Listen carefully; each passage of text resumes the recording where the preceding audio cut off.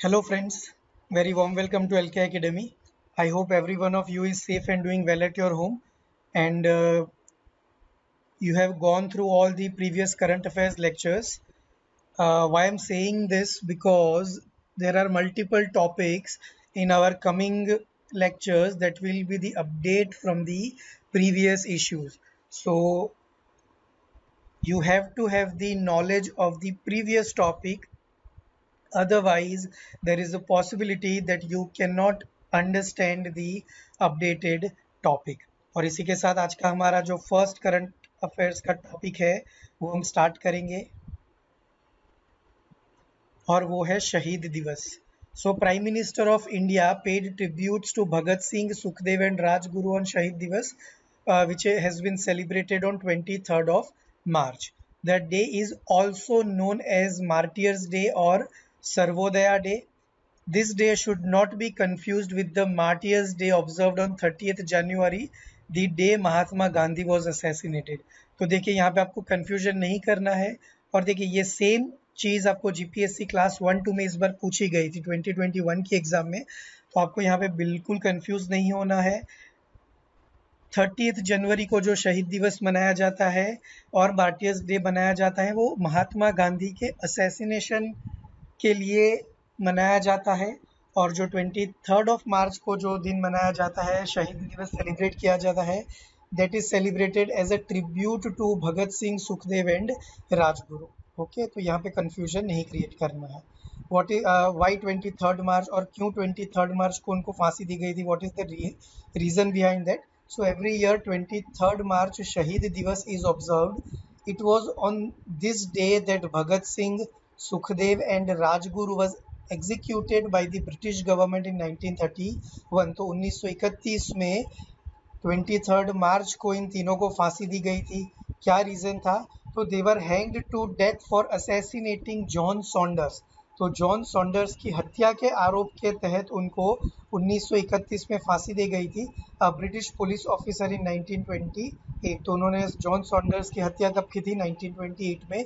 They had mistook him for British police superintendent James Scott तो actually वो हत्या करना चाहते थे जेम्स स्कॉट की okay British police superintendent James Scott की हत्या करना चाहते थे बट उन्होंने गलती से किसकी हत्या कर दी, किसका मर्डर कर दिया? जॉन सॉन्डर्स का। Now why they want to murder James Scott तो उसका भी एक रीजन था।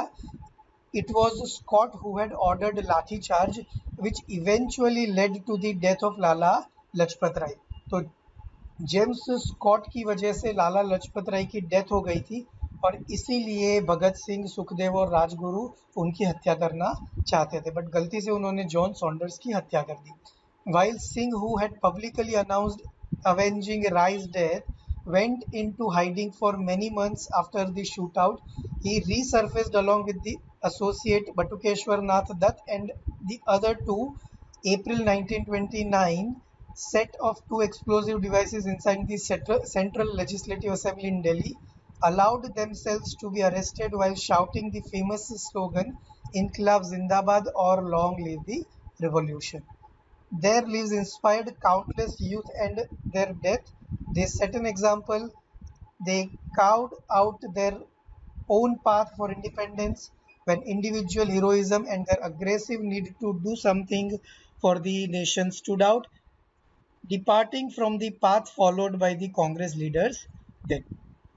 Okay, तो काफ़ी इंस्पिरेशनल फिगर रहे हैं और आज भी है इंडियन यूथ के लिए ओके okay, तो ये चीज़ हमें यहाँ पे याद रखनी है नेक्स्ट जो हमारा टॉपिक है that is related to reducing inequality index 2020 which is published by Oxfam तो recently the labor and employment minister has informed the lok sabha that oxfam commitment to reducing inequality index 2020 lacked clarity and did not take into account the provisions of the four new labor codes तो जो हमारे labour minister हैं उन्होंने लोकसभा में ये जानकारी दी है कि ऑक्सफेम का जो पब्लिश किया गया है reducing inequality index okay so उसमें क्यों इंडिया पीछे है?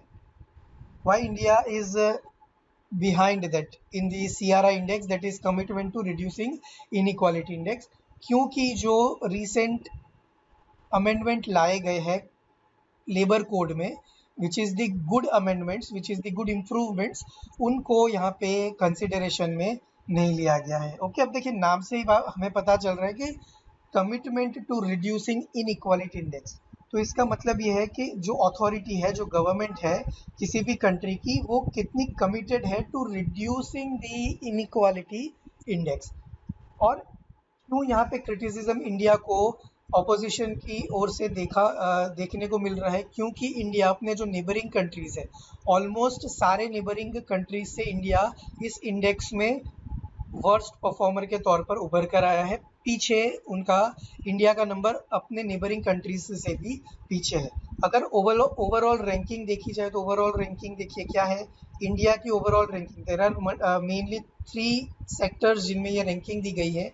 एक है पब्लिक सर्विसेज़ दूसरा है टैक्स रैंकिंग और third one is labour ranking India overall ranking में है 129 नंबर पर. Pakistan is 128 twenty eight which is ahead of India Bangladesh is 113 one three which is way ahead of India Nepal is one one two which is again way ahead of India Bhutan is one forty six which is behind India Afghanistan is one zero two which is also ahead of India and Sri Lanka is on ninety four which is again head of India तो देखिए India के almost जो सारे neighbouring countries है, उन्होंने India से अच्छा performance दिया है in terms of reducing inequality index okay अब इंडियन गवर्नमेंट ये दलील दे रही है, ये आर्ग्यूमेंट दे रही है कि क्योंकि जो चार नए लेबर कोड्स है, उनको इसमें इंक्लूड नहीं किया गया है that's why we are behind okay क्या है? So the index ranked countries measuring their policies and actions in basically three areas that is said are proven to be directly related to reducing inequality. तो basically ऐसे तीन areas में countries को analysis किया गया है, जो सीधे सीधे ये माना जाता है कि वो इनइक्वालिटी को रिड्यूस करेगी। पहला है पब्लिक सर्विसेज़ क्या इंक्लूड हो रहा है पब्लिक सर्विसेज़ में? Health education and social protection next is taxation and third one is workers rights nigeria bahrain and india which experienced the world's fastest growing outbreak of, outbreak of covid-19 were among the world's worst performing countries in tackling inequality going into the pandemic अब देखिए total country थे 158 उसमें से India का क्या ranking है 129 in some of the areas india worst performance में है like in the sector of labour ranking labour ranking में इंडिया वर्स्ट टेन में जगह पा चुका है। ओके चलिए। तो इंडिया पोजिशन और इंडेक्स क्या है? Overall India ranked 129 in the C R I index out of 158 countries on government policies and action in areas of public service of education health social protection taxation and workers rights India slipped from the rank 141 in the year 2018 to 151. देखिए 10 rank हम पीछे गए हैं कहाँ पर in the area of labor rights okay so india slipped from rank 141 in the year 2018 to 151 in the year 2020 with weak labor rights and the high incidence of vulnerable employment और इससे इसका सबसे ज़्यादा असर ड्यूरिंग कोविड एरा में पड़ा है क्योंकि हमने देखा है न्यूज़ में कि there are lakhs of migrant workers जो अपना काम छोड़कर, अपना रोज़गार छोड़कर अपने नेटिव स्टेट में जाकर रहने लगे हैं। Highest presence of the informal sector for man was in Uttar Pradesh at 86.9 percentage and for women was in Andhra Pradesh at 73.6 percentage. In terms of its public services, it ranked 141 जो कि हमने पूरे already जो table में मैंने आपको दिखा दिया किस कंट्री का क्या रैंक है sector wise as well and the overall rank as well India has been ranked 19 on the taxation pillar तो ये सारे नंबर्स हमें याद रखने हैं। Reason for India poor performance क्या है? Exploiting laborers in COVID. Several state governments in India have used COVID-19 as a pretext to increase daily working hours from 8 to 12 hours a day and suspend minimum pay legislation, devastating the livelihoods of millions of poor workers now battling with hunger. तो देखिए क्या हुआ जब state government के पास ही पैसा नहीं था तो स्टेट गवर्नमेंट्स ने क्या किया? कोविड नाइन्टीन का बहाना देकर जो मिनिमम वेजेस के जो लेजिस्लेशन थे, उसको क्या कर दिया? जो कायदे थे, जो लॉस थे, उसको क्या कर दिया? होल्ड पे रख दिया है, जब तक सिचुएशन नॉर्मलाइज नहीं होती है। अब इसकी वजह से क्या हुआ? जो कारीगर ऑन ग्राउंड काम करता है, जिसको मिनिमम पे मिलना चाहिए था मिनिमम वेजेस मिलना चाहिए था let's say two fifty rupees अब उसको वो नहीं मिल रहा है। अब उसको मिल रहा है सामने डेढ़ सौ रुपये या सौ रुपये वो उसमें एक्सप्लोइटेशन करवा कर भी काम कर रहा है। क्यों? क्योंकि उसको डर है ऑन ग्राउंड जो कारीगर काम कर रहे हैं, उसको डर है कि अगर मैंने मना कर दिया काम करने के लिए तो हो सकता है कि मेरी नौकरी चली जाएगी। And nobody wants that so that's why exploitation के ऊपर अभी काम हो रहा है। लो हेल्थ बजट है। So india's health budget was the fourth lowest with half of its population having access to most essential health services and more than 70% of health spending being met by people themselves. Informal jobs hai so most workers earn less than half of the minimum wage. 71% don't have any return job contract while 54% do not get paid leave only around 10% of the India's workforce in India is formal. तो देखिए ये हमारे यहाँ की irony है कि हमारे पास बड़े बड़े मिनिमम वेजेस के लिए लॉस तो है but there are half of the population के जिनके पास लीगल कॉन्ट्रैक्ट नहीं है जिसके बेस पर उनको मिनिमम वेज दिया जाएगा। So this is the irony क्यों अब ऐसा है कि वो इन, आ, उनके पास लीगल कॉन्ट्रैक्ट नहीं है? बिकॉज़ 71 परसेंट से ज़्यादा लोग हमारे यहाँ इनफॉर्मल सेक्टर में काम करते हैं। इनफॉर्मल सेक्टर का मतलब क्या है? आपके यहाँ जो प्लम्बर आता है या आपके यहाँ जो कारपेंटर आता है those are counted as the informal sector migrant workers और वर्कर्स राइट तो अब आप उनको मिनिमम वेजेस नहीं पे करते हो right so that is the irony in India recommendation kya kya hai so in response to the coronavirus pandemic governments must dramatically improve their efforts on progressive spending taxation and workers pay and protection as part of national inequality reduction plans under sustainable development goal sdg 10 now what is sdg 10 so it calls for reducing inequalities in income as well as those based on the age, sex, disability, race, ethnicity, origin, religion or economic or other status within a country.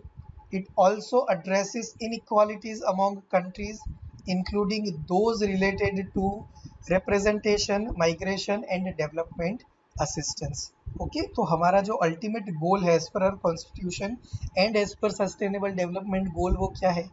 कि income की जो inequality है उसको ख़त्म करना है। Income should not rely on age sex disability race ethnicity origin और religion और इकोनॉमिक और अदर एस्पेक्ट्स जो सैलरी किसी मेल को मेल एम्प्लॉय को मिल रही है फॉर द सेम वर्क उतनी ही सैलरी किसी फीमेल वर्कर को भी मिलनी चाहिए। But that is not the actual case in any of the country right so उसको ख़त्म करने के लिए यूनाइटेड नेशंस के जो एसडीजी का लिस्ट है, उसमें एक एस डी ये डाला गया था।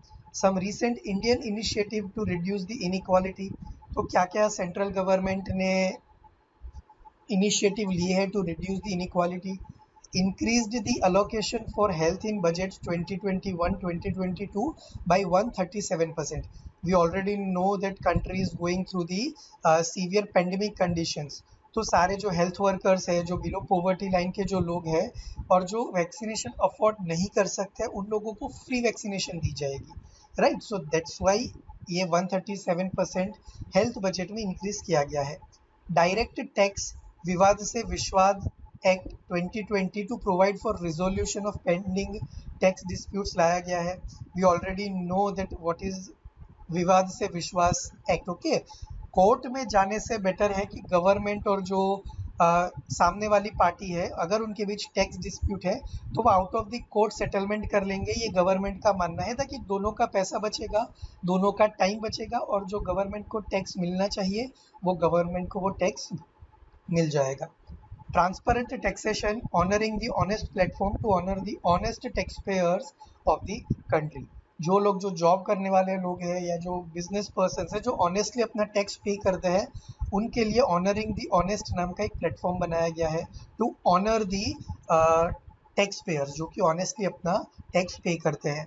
Introduced industrial relations code 2020 code on social security 2020 and the occupational safety health and working conditions code 2020 EPG Pathshala launch किया गया है ताकि एक इनिशिएटिव है मिनिस्ट्री ऑफ़ एजुकेशन की साइड से ताकि वो ई कंटेंट प्रोवाइड करवा सके, जो कि मोबाइल पे आपको स्टडी मटेरियल इजीली प्रोवाइड किया जा सके।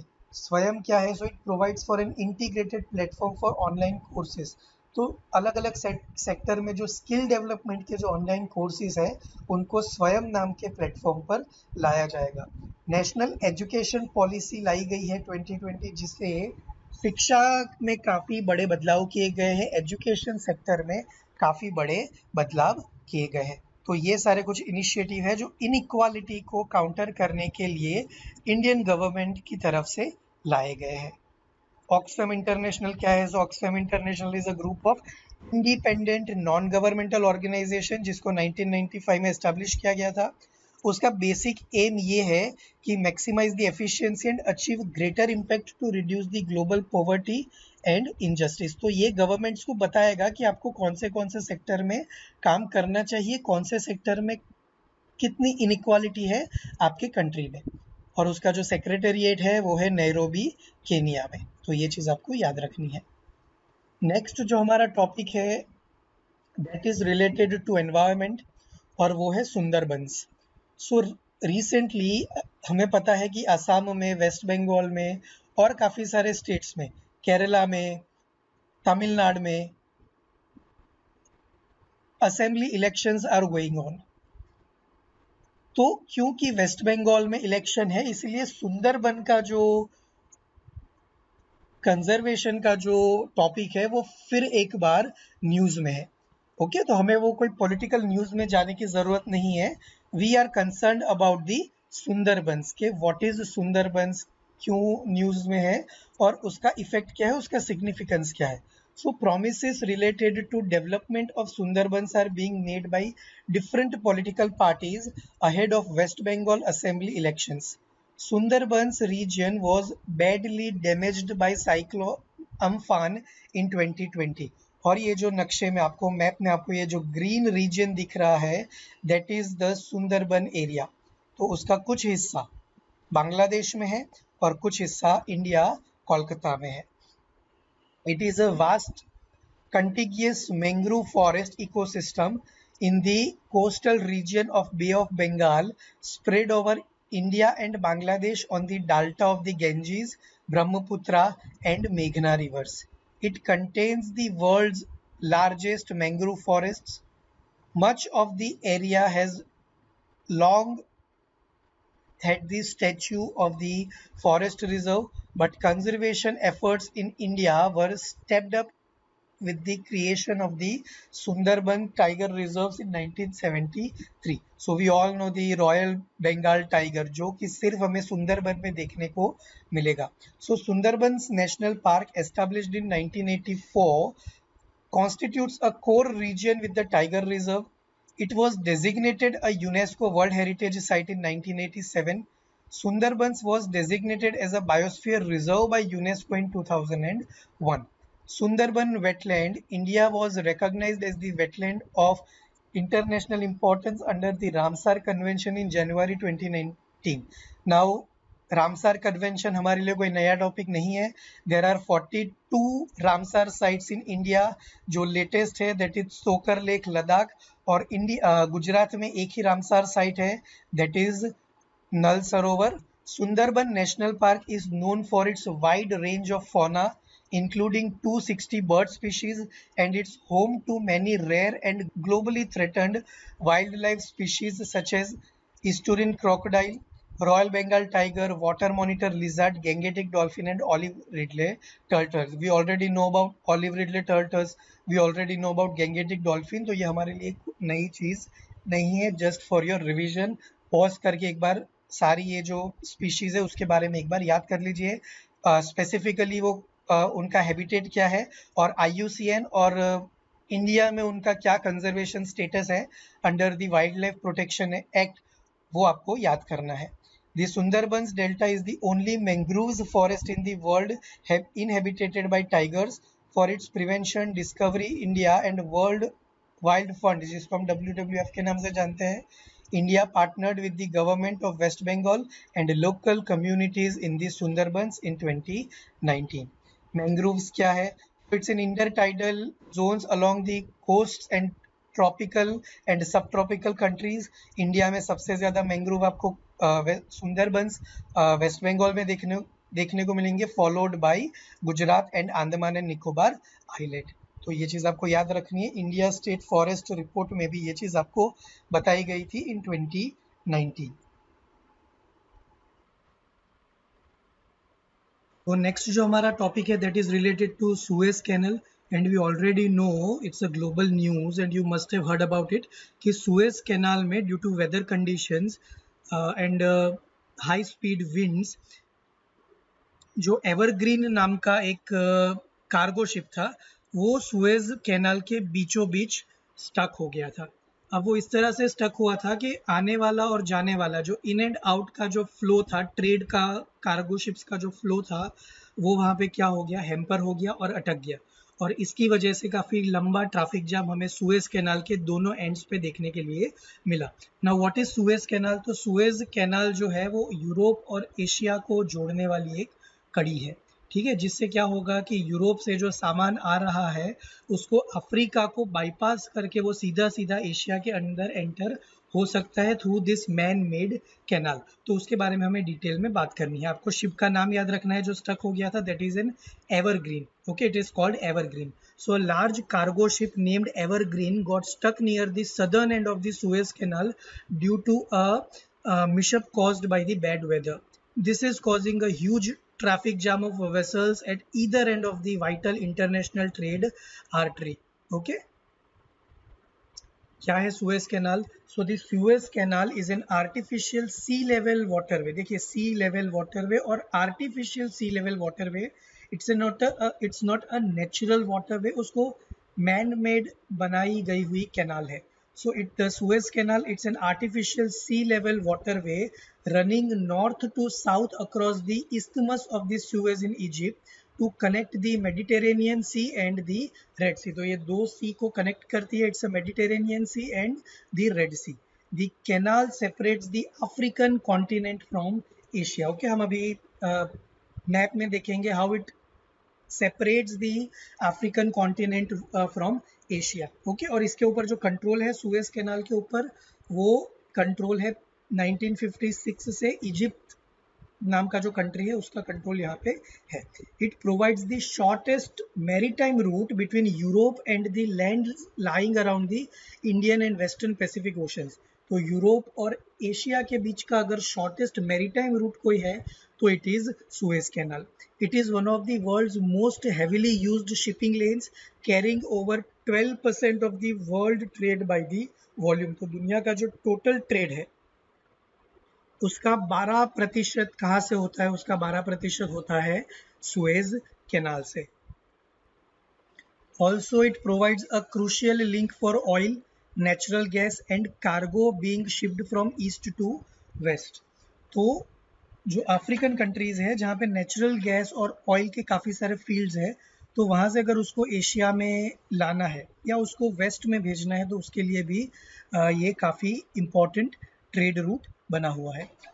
As per Suez canal authority data in 2020 nearly 19,000 ships on an average of 51.5 ships per day with a net tonnage of 1.17 billion tons passed through the canal तो देखिए total जो ships cross हुए 2020 में in pandemic situation that is 19,000 ships तो general situation में अगर normalize situation होगा तो तो इससे ज़्यादा ही शिप्स पास होते होंगे। तो ऑन एन एवरेज 2020 में रोज के मोर देन 50 शिप्स यहाँ से पास हुए हैं The canal is a major source of income for Egypt's economy, with the African country earning 5.6 US billion dollar in revenues from the last year. In 2015, Egypt announced plans to further expand the Suez Canal, aiming to reduce waiting times and double the number of ships that can be used the canal daily by 2023. तो ये हमें याद रखना है कि 2023 तक इसकी जो कैपेसिटी है वो क्या हो जाएगी? इंक्रीज हो जाएगी। हिस्ट्री क्या है? सो so, देखिए पहले मैं आपको रूट बता देता हूँ। This is the Mediterranean Sea and this is the Red Sea यहाँ ऊपर जो है आपका पूरा यूरोप है। और this is your Asia this is your Middle East और मिडल ईस्ट के राइट साइड जैसे आप जाते जाओगे so this is your Asia okay तो ये एशिया और यूरोप को जोड़ने वाला एक क्रिटिकल ट्रेड रूट माना जाता है। So the Suez canal is actually the first canal that directly links the Mediterranean Sea to the Red Sea and it was open for navigation in November 1869 the 150 year old canal was controlled by British and French interests in the initial years but was nationalized in 1956 by Egypt. So as of now 1956 to till date uh, who controls the Suez Canal? जो करता है उसको control Egypt Suez crisis, international crisis of the Middle East, precipitated the in July 1956 when the Egyptian president Gamal Abdul Nasir nationalized the Suez Canal. The canal had been owned by the Suez Canal Company, which was controlled by French and British interests. The canal was closed five times. The last time was the most serious one since it lasted for eight years.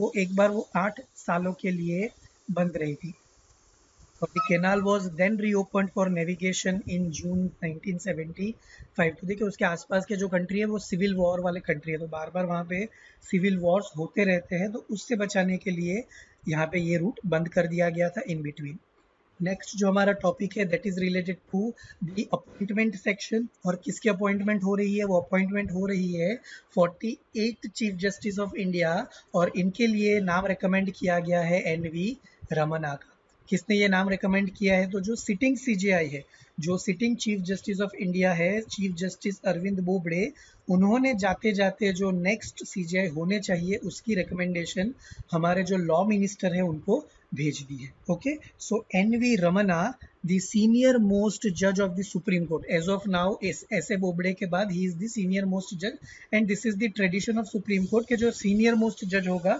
उसी को chief justice of India बनाया जाएगा।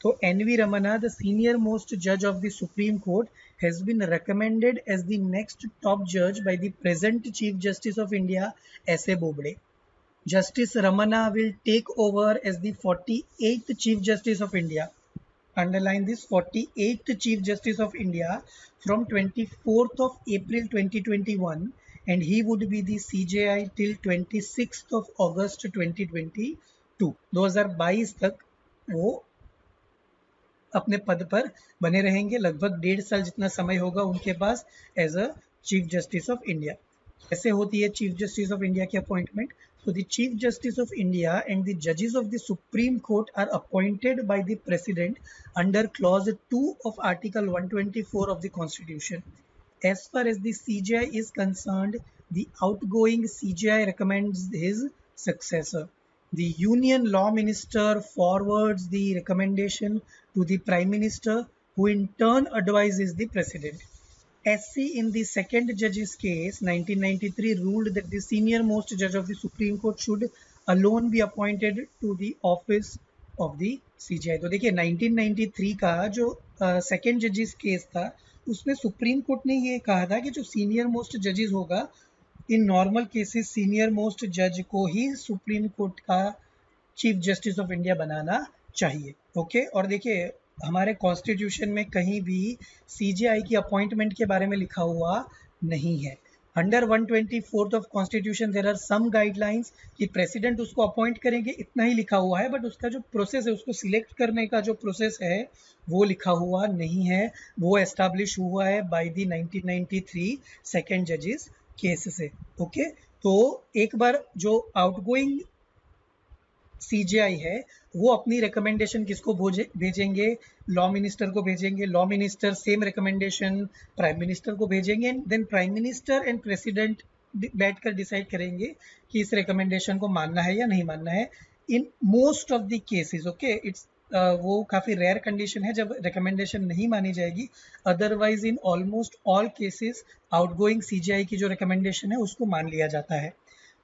So the Supreme Court collegium is headed by the chief justice of India and comprise four other senior most जजेस of the court now this is one of the question GPSC class one two examination की collegium में कितने members होते हैं? तो collegium में total पाँच members होंगे।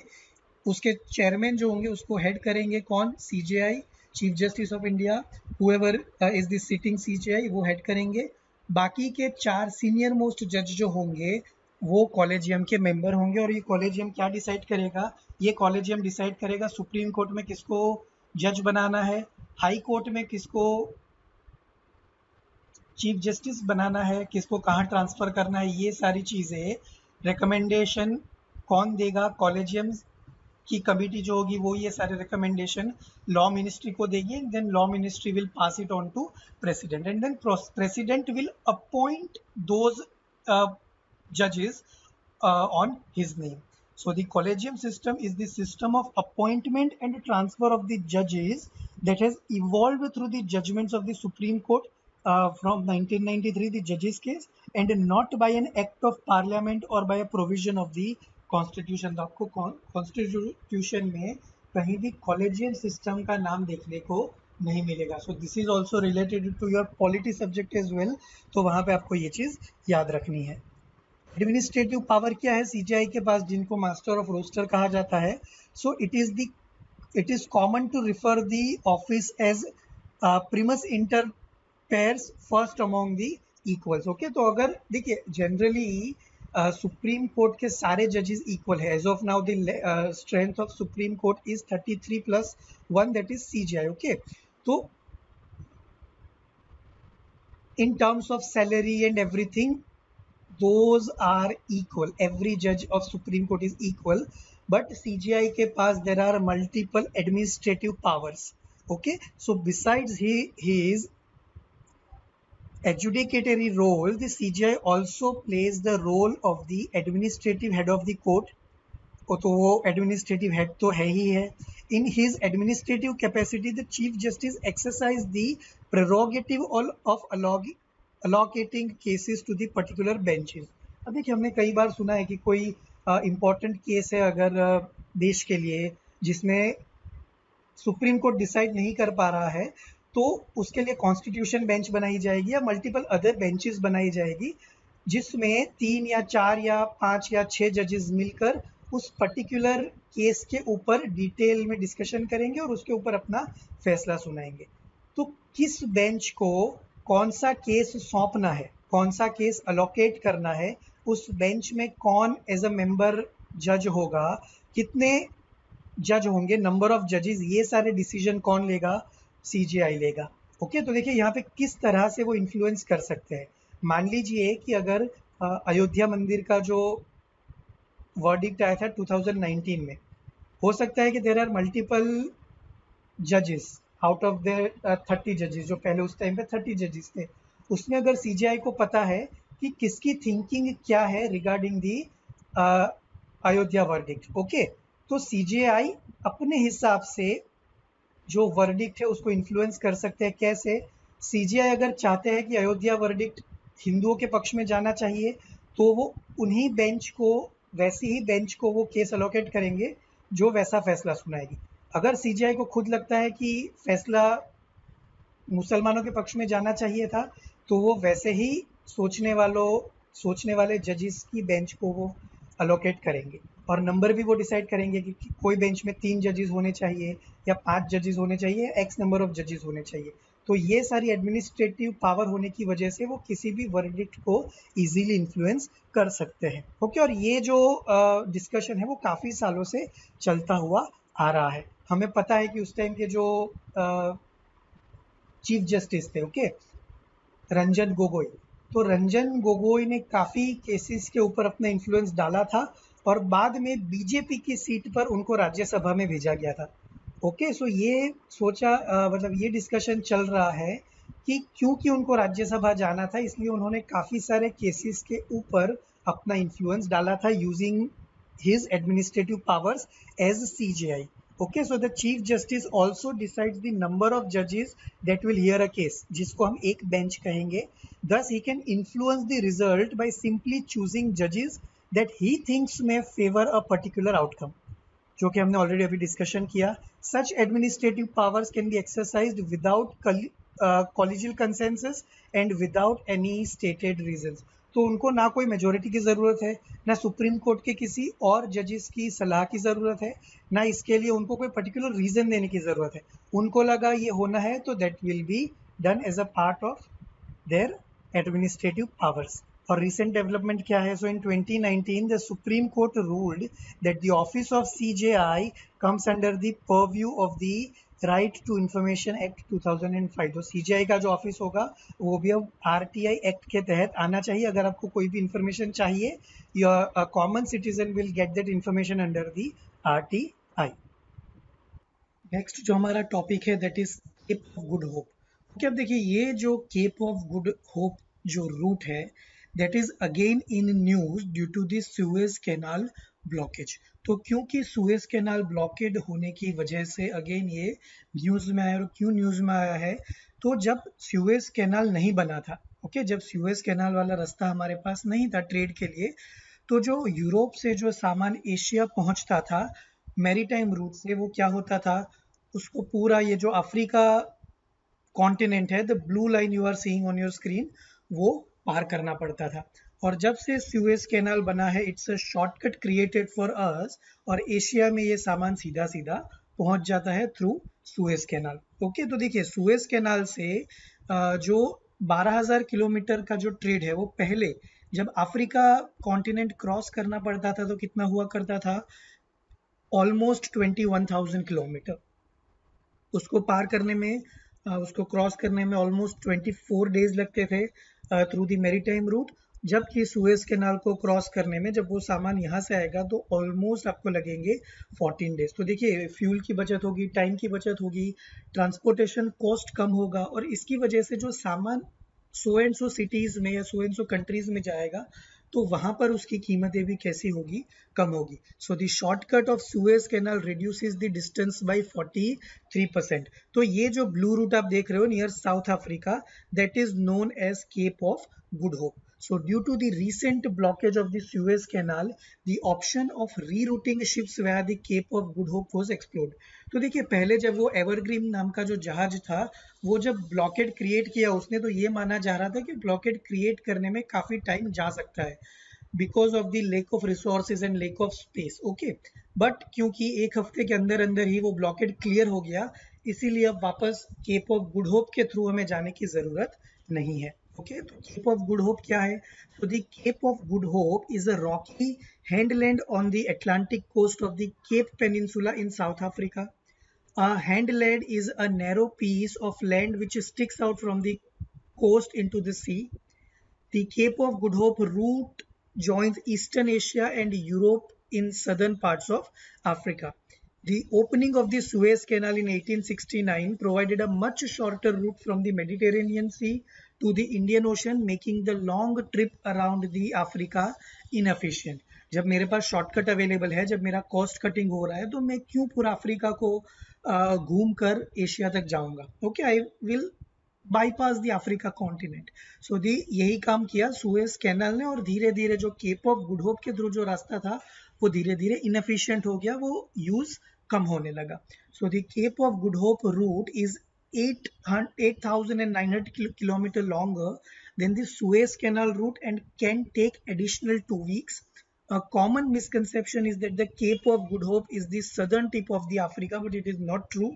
Contemporary geographic knowledge instead states the southernmost point of Africa is Cape Agulha, about 150 kilometer to the east southeast. Okay, so जो southernmost part है that is not Cape of Good Hope.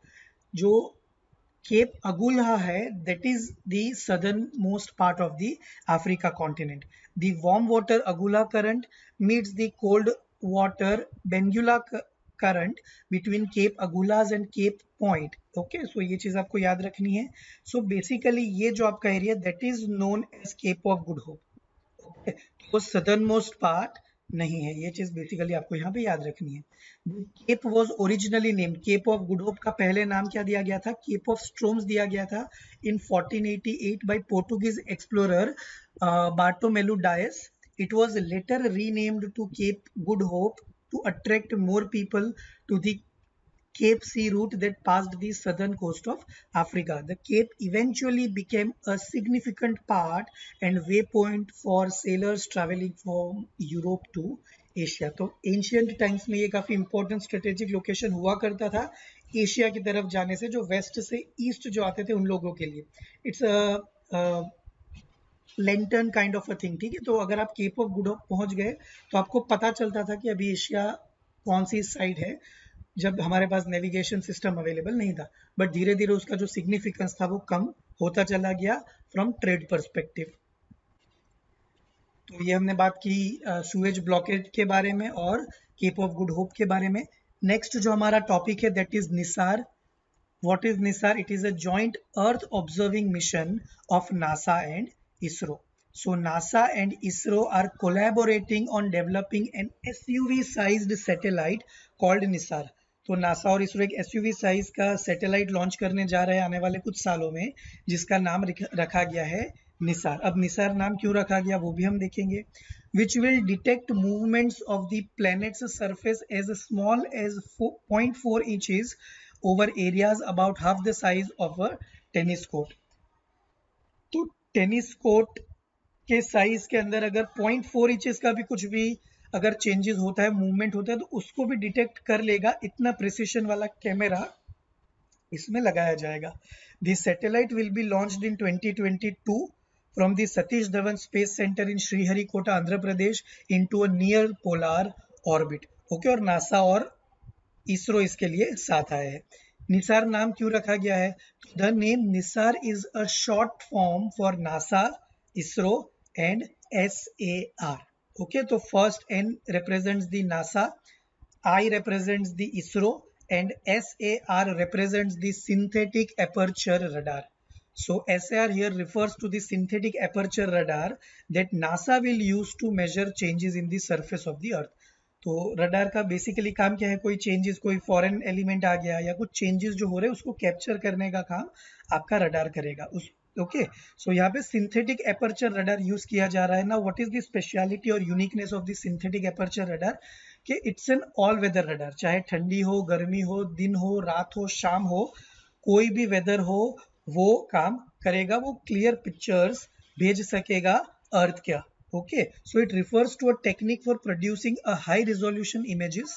Because of the precision, the radar can penetrate clouds and darkness, which means that it can collect data day and night in any weather. Basic function क्या होगा? क्यों ये satellite launch किया जा रहा है? तो ये पूरा जो सैटेलाइट होगा, वो तीन साल के टेन्योर के लिए भेजा जाएगा। वो तीन साल के टेन्योर के लिए एक्टिव रहेगा। And every twelve years it will scan the entire globe और इस तरीके से हर 12 साल में वो अर्थ को ग्लोब करता जाएगा over the period of three years और वो जो अर्थ में धीरे धीरे जो चेंजेस हो रहे हैं एटमोस्फियरिक लेवल पे या सरफेस लेवल पे, उसको वो मॉनिटर करेगा। So it will scan the globe every 12 days over the course of its three year mission of imaging the earth's land ice sheets, and the sea ice to give an unprecedented view of the NASA का role क्या होगा? So NASA that is known as National Aeronautics and Space Administration will provide one of the radars for the satellites a high rate communication subsystem for science data GPS receivers and a play payload data subsystem NISAR will be equipped with the largest reflector antenna ever launched by NASA तो ये सारे जो equipments है, वो NASA की तरफ़ से provide करवाए जाएँगे। इसरो का रोल क्या होगा? So Indian Space and Research Organisation will provide this spacecraft bus जिसके ऊपर आपका सैटेलाइट लगाया जाएगा। The second type of radar called the S band radar and the launch vehicle and associated launch services तो हम एक एस बैंड रडार प्रोवाइड करेंगे launch vehicle provide करेंगे एंड एसोसिएटेड लॉन्च सर्विस तो जितनी भी लॉजिस्टिक की डिमांड्स है, वो इसरो के द्वारा भी की जाएगी। प्राइमरी गोल क्या होगा इस सैटेलाइट का? So tracking subtle changes in the Earth's surface, spotting warning signs of imminent volcanic eruptions, पिछले काफ़ी दिनों में हमने काफ़ी सारे वॉल्केनिक इरप्शंस के बारे में पढ़ा इक्वाडोर वॉल्केनो के बारे में पढ़ा माउंट सिनाबंग के बारे में पढ़ा आइसलैंड का जो 800 साल पुराना वॉल्केनो इरप्ट हुआ उसके बारे में पढ़ा।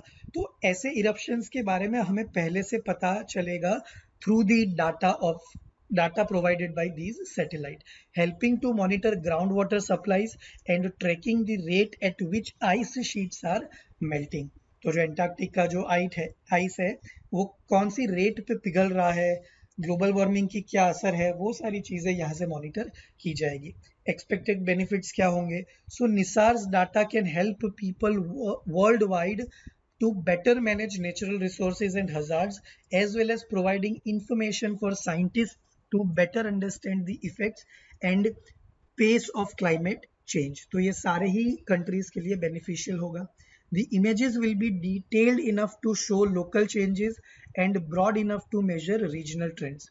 As the mission countries for years continues for years, the data will allow for better understanding of the causes and consequences of land surface changes क्योंकि ये तीन साल के लिए रहेगा it will also add to our understanding of our planet's hard outer layer called its crust तो जिसे हम क्रस्ट कहते हैं जहाँ अलग अलग टाइप के लेयर्स बने हुए हैं उसमें क्या क्या चेंजेस हो रहे हैं उसकी स्टडी में भी ये हमें काम करेगा एस बैंड रडार क्या है So S-band radars operate on a wavelength of 8 to 15 centimeter and a frequency of 2 to 4 gigahertz. Because of the wavelength and frequency S band radars are not easily attenuated उसको easily आप disturb नहीं कर सकते, उसकी frequency को easily disturb नहीं किया जा सकता। This makes them useful for near and far range weather weather observation The drawback to this band of a radar is that it requires a large antenna dish and a large motor to power it. उसको power करने के लिए एक बड़ा सा antenna और एक बड़ी सी मोटर चाहिए होगी और इसकी वजह से एस बैंड रडार जो होगा वो बल्कि हो जाएगा और जब एस बैंड रडार बल्कि होगा स्टैंडर्ड साइज़ से तो हमारा जो overall satellite that that is also going to be bulky so it is not uncommon for a S-band dish to exceed 20 feet in size तो ये चीज़ हमें याद रखनी है एस बैंड रडार इसरो की साइड से प्रोवाइड करवाया जाएगा। Next topic is shifting health to concurrent list तो जो हमारा फिफ्टींथ फिनांस कमीशन है उसके जो चेयरमैन है डॉक्टर एन के सिंह उन्होंने एक रिकमेंडेशन दिया है कि हेल्थ को स्टेट लिस्ट से हटाकर कॉन्करेंट लिस्ट में डाल दिया जाए। Now this topic you can relate to your polity as well जब पॉलिटी में आप पढ़ोगे तो आप state list centre list and concurrent list के बारे में पढ़ोगे। स्टेट लिस्ट वो लिस्ट है जिसके लिए सिर्फ़ स्टेट्स लेजिस्लेचर उसके ऊपर लॉज बना सकता है।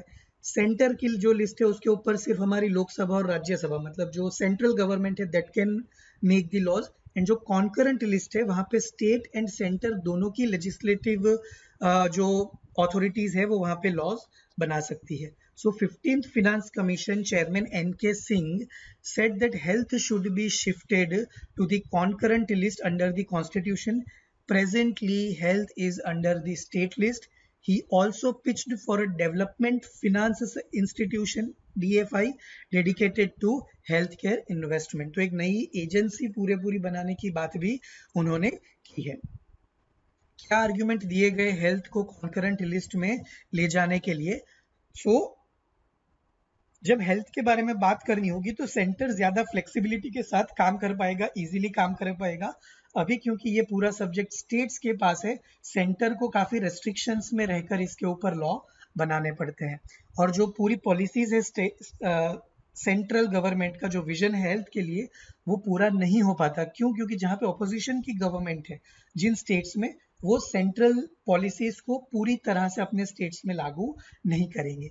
So bringing health into a concurrent list would give the centre greater flexibility to enact regulatory changes and reinforce the obligation of all stakeholders towards providing better health care तो जब states के पास ज़्यादा authority होगी under the concurrent list तो वो easily ये सारी पॉलिसीज़ ऑन ग्राउंड अप्लाई कर पाएगा। Rationalisation and streamlining the multiple act so there is a multiplicity of act rules and regulation and mushrooming institution yet the regulation of this sector is far from adequate हमारे पास काफ़ी सारी अच्छी policies हैं but क्योंकि जो integration होना चाहिए सारे इंस्टीट्यूशन के बीच उसका लैकिंग है and that's why our health care is so poor तो उसको बेहतर बनाया जा सकेगा जब सेंट्रल गवर्नमेंट के पास ज़्यादा पावर्स होंगे। With the in uh, in the concurrent list uniformity of acts can be ensured.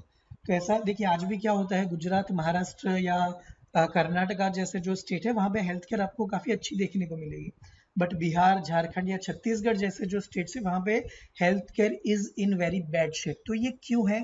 क्योंकि वहाँ पर सेंट्रल गवर्नमेंट की जो पॉलिसीज़ है, उसका अच्छी तरह से इम्प्लीमेंटेशन नहीं किया गया है। So that is the basic reason के कुछ लोगों को, देश के कुछ सिटीजन्स को अच्छी हेल्थ केयर फैसिलिटी मिल रही है, जबकि बाकियों को इतनी अच्छी फैसिलिटीज़ नहीं मिल पा रही है which is the violation of many constitutional articles right जैसे इक्वलिटी का जो आर्टिकल है, अच्छी हेल्थ केयर का जो आर्टिकल है तो वहाँ पर उसका वायोलेशन है that should not be the ideal case okay so centre expertise to state the central government is also technically better equipped to come up with the health schemes because it has the assistance of multiple research bodies and department dedicated to the management of public health तो क्योंकि central government के पास अच्छी facilities है, अच्छे resources है, अगर central government को ज़्यादा पावर दी जाए तो हेल्थ के लिए काफ़ी बेनिफिशियल बात ये हो सकती है for every states as well and states on the other hand do not have the technical expertise to independently design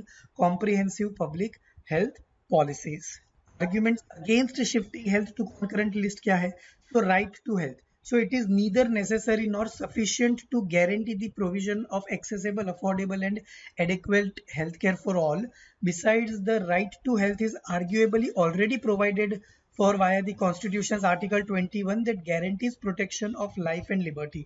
तो इसके लिए स्टेट को कोई अलग से पावर देने की ज़रूरत नहीं है।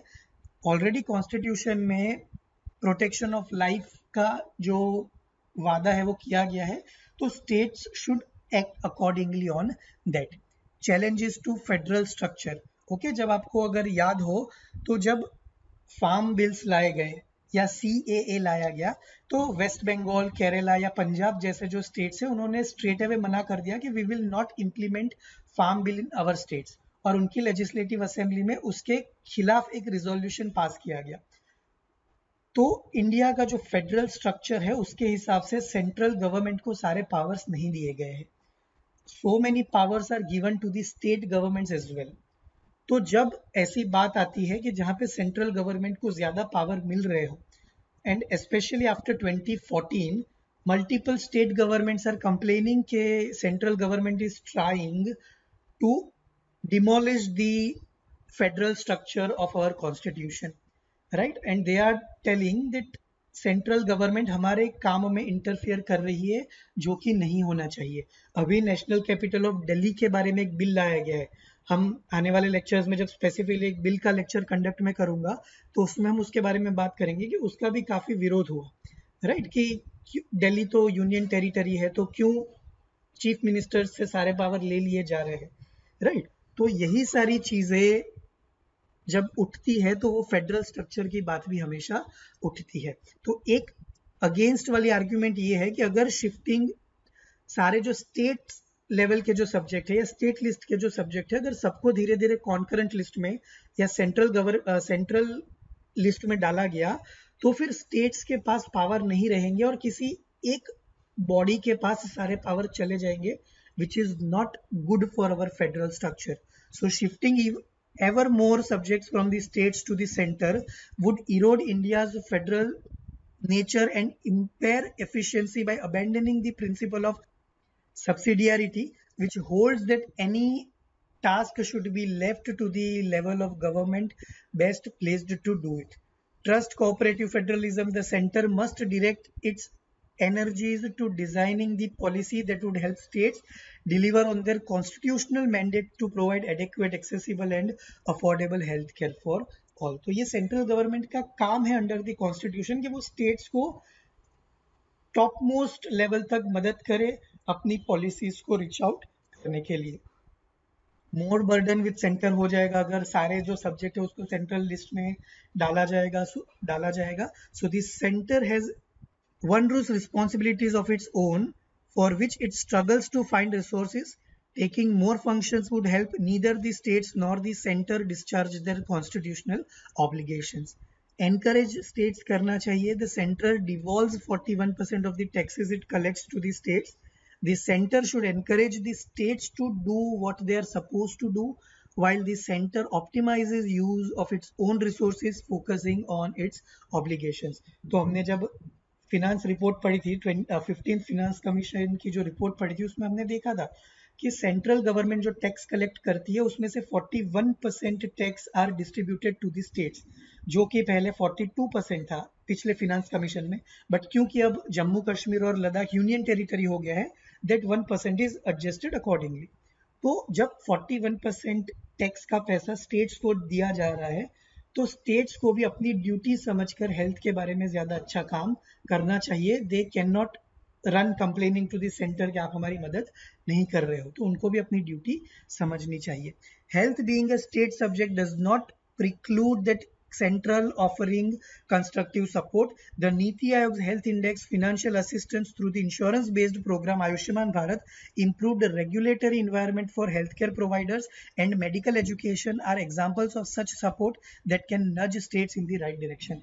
But अब देखिए यहाँ पे आयुष्मान भारत स्कीम लागू की गई बट आज भी केरला या वेस्ट बंगाल जैसे जो स्टेट्स है उन्होंने आयुष्मान भारत स्कीम अपने स्टेट्स में लागू नहीं होने दी just because of their political battles क्योंकि वो अलग पार्टी के लोग हैं, वहाँ पे आयुष्मान भारत स्कीम गरीब इंसान को नहीं मिलेगी right so this is also the threat to federal structure but we are not talking about that right सो ये चीज़ भी हमें याद रखनी है। उस परस्पेक्टिव से भी आपको सोचना है कि वो भी तो फेडरल स्ट्रक्चर को एक खतरा हो सकता है कि जो अच्छी स्कीम है उसको भी वहाँ पे लागू नहीं किया जा रहा है। क्यों? क्योंकि ममता बनर्जी को नरेंद्र मोदी पसंद नहीं है, या वाइस वर्सा नरेंद्र मोदी को ममता बनर्जी पसंद नहीं है। So that shouldn't be the case in federal structure as well चलिए कॉन्करेंट लिस्ट क्या है? So this is just for your homework तीन जो लिस्ट है यूनियन लिस्ट स्टेट लिस्ट और concurrent list so concurrent list की बेसिकली हम बात करेंगे तो वहाँ पे both parliament and state legislature can make laws with respect to any of the matters enumerated in the concurrent list it includes the matters on which uniformity of the legislation throughout the country is desirable, but not essential. तो देखिए, अब defence का जो subject है, उसको आप concurrent list में नहीं रख सकते। वरना हर स्टेट अपने हिसाब से डिफेंस की पॉलिसी बनाएगा। So that is not desirable in our countries इसलिए डिफेंस को सेंट्रल लिस्ट में रखा गया है राइट तो however a state legislation operates to the extent that it is not in conflict with the central legislation at times the very presence of a central legislation can negate the state's ability to the legislate तो farm bill के ऊपर जैसे कि मैंने आपको बताया कि पंजाब है, केरला है, इन कंट्रीज़ ने फार्म बिल्स को अपने यहाँ पे, जब तक अमेंडमेंट नहीं होता है, तब तक अपने यहाँ पे होल्ड पे डाल दिया है। Right but they can not do that तो वहाँ के जो गवर्नर्स है, केरला में गवर्नर्स ने साइन करने से मना कर दिया, पंजाब में गवर्नर ने साइन करने से मना कर दिया। Right right? तो ऐसे जो बैटल्स है उसको फिर कोर्ट में चैलेंज किया जा सकता है सेंट्रल गवर्नमेंट के लिए भी और स्टेट गवर्नमेंट के लिए भी। As of now there are 52 subjects in the concurrent list जो कि पहले 47 थे। This is a homework for you कि आपको एक बार यूनियन लिस्ट स्टेट लिस्ट और कॉन्करेंट लिस्ट में कौन से कौन से सब्जेक्ट है, ये आपको देखने हैं। This is the revision for your polity as well this was your today's lecture I hope you have understood the entire lecture let me know in case of any doubt till then stay home stay safe thank you